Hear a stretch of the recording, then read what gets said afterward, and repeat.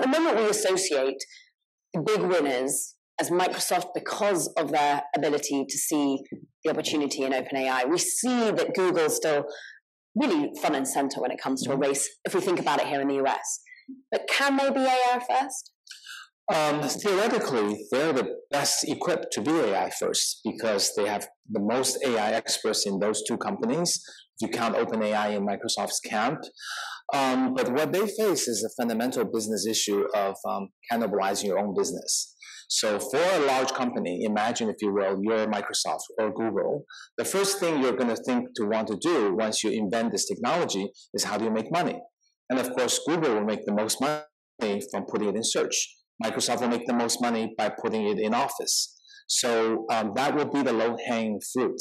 But will Microsoft become a disruptor that says, I'm going to build a new engine that's AI first that causes no people to no longer need or want to use Office or pay for it? Um, few companies, if any, has ever uh, done that.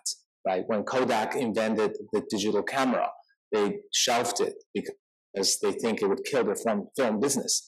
It, it, did, but it wasn't because of them, but but other companies, right?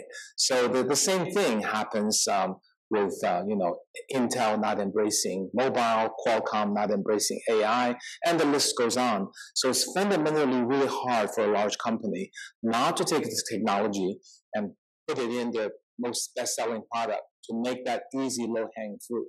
And it's incredibly hard for them to build a disruptive product that will challenge, cannibalize, and potentially kill the revenue um, that is currently a cash cow. When I think of what you are doing now with O1 AI, and that being zero one everything is, is, is how it would be interpreted in the, in the US, we're you're doing things in an open source manner. And what was so interesting is you sort of referenced the two killer apps thus far that are AI first, and we're thinking about OpenAI's ChatGPT, we're thinking about Character AI. You also had the curve and the graph that showed sort of proprietary uh, LLMs and, and open source LLMs. When I was reading AI Superpowers, you were thinking about ultimately when the next iteration of AI would happen, how it would happen, and you sort of hoped, dare I read between the lines, that it would come from academia and it would be open. Mm. And it wasn't. Mm. It came from OpenAI, but many would, but that's a proprietary large language model. How did you feel when it was a proprietary model?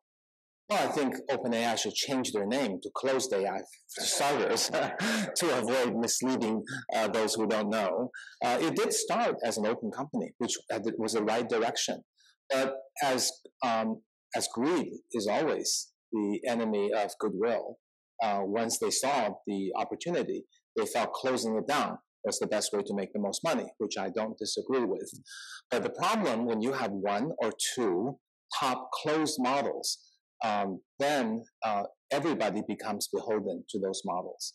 If you think this is the way we get to the, you know, IQ 500, IQ 800 system, that's so amazingly smart, but also so amazingly dangerous. Uh, to let one or two companies control that is is very dangerous. Uh, furthermore, um, in a closed model, then a lot who loses, right? Uh, is really those who need access to technology professors, researchers, hobbyists, entrepreneurs, students, uh, they would not be able to learn how to train and tune and align these models because the underneath is a black box that can't be trained or aligned or tuned. So I feel open source is the um, is a way to to provide that accessibility to everybody.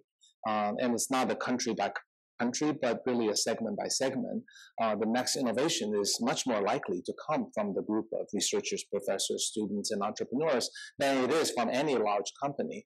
So to remove those tools, I think would be uh, the wrong thing to do for humanity.